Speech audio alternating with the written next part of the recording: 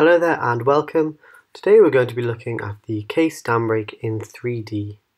So we're going to begin by clicking on the macro button in the toolbar up at the top there.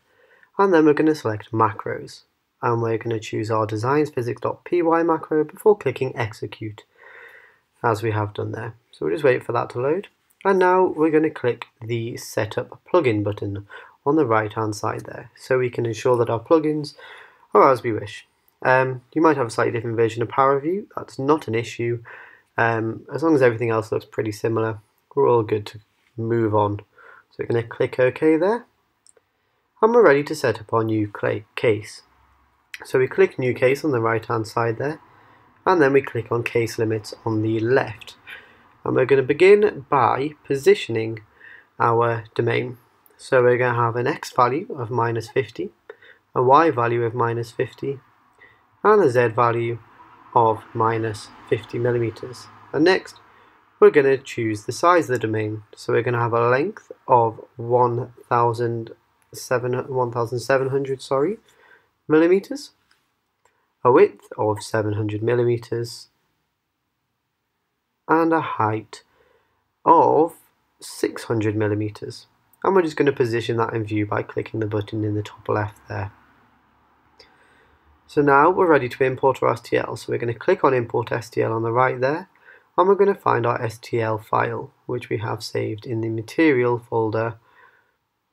Oh, there we go, case break 3D structure. And we're going to leave the scaling factors as 1 and we're going to name this tank.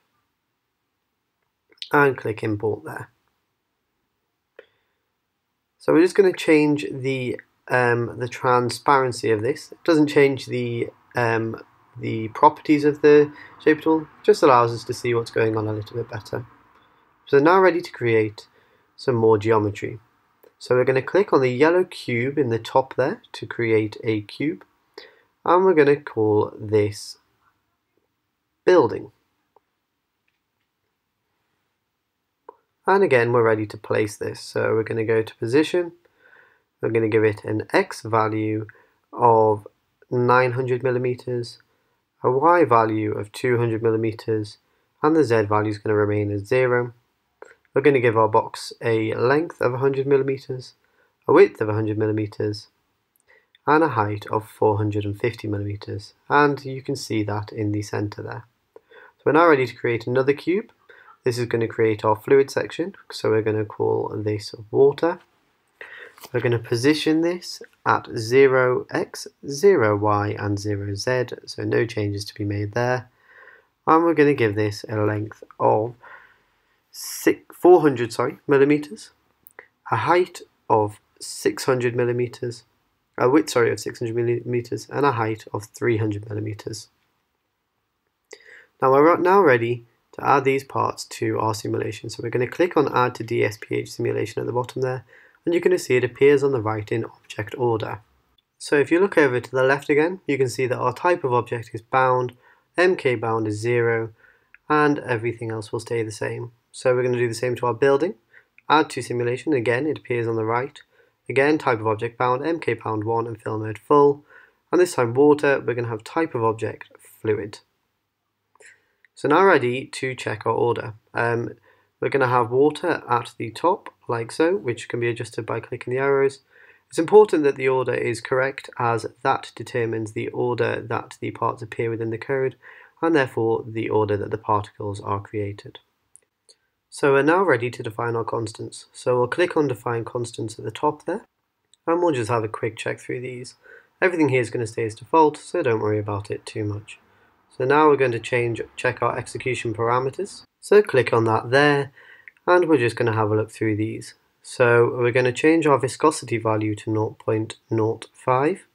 Oops, sorry, 0.05. There we go. We are going to enable delta SPH and leave the delta SPH value as 0.1. We're going to change the time of our simulation to 0.5 seconds. I'm going to change the timeout data to 0.005. And we're now ready to change the interparticle distance to 0.015 and then we're going to save and run the gen case. So we're just going to save that in a folder here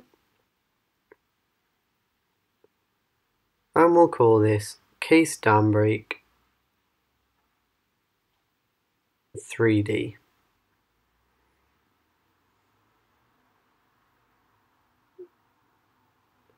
And again, case dambreak break 3D And there we go there. Okay. Okay, so we're just going to have a look at the file, that, the folder, sorry, that's just been created there. We'll just have a look at the contents of it and have a quick kind of run through of what it all is. So if we have a look in here, we've got our save files, and here we've got the generated files.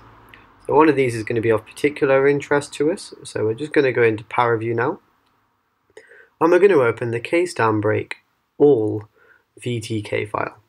And what this will allow us to do is it will allow us to see the beginning, the starting position of the particles um, there. So we'll click on apply there and we'll orientate that in Y+. plus. And there you go, you can see the particles in their starting position. So we're now going to go back into FreeCAD and we're going to run the simulation. Um, so you have a couple of options here. You can run it using either a GPU if you have the correct hardware or using the CPU. Um, if possible, it's recommended you use the GPU as it's much quicker.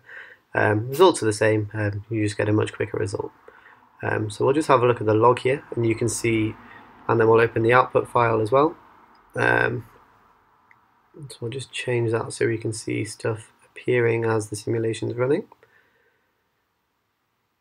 Um, yeah, there we go. And you can see on the left the log and the output files on the right. Um, this has been sped up, um, so don't worry too much if yours is a bit slower.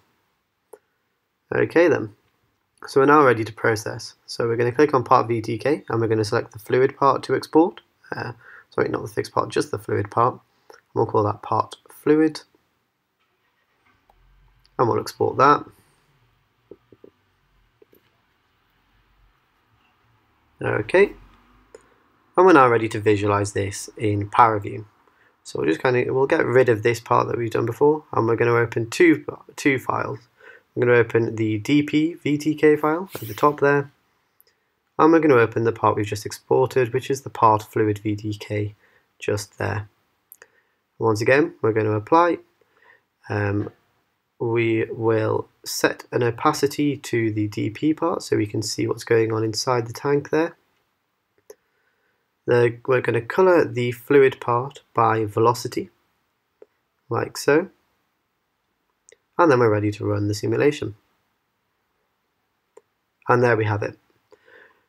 We, there is our dam break case in 3D. If you have any further questions, please refer to the DualSPHysics forum or don't hesitate to contact us at dualsphysics at gmail.com.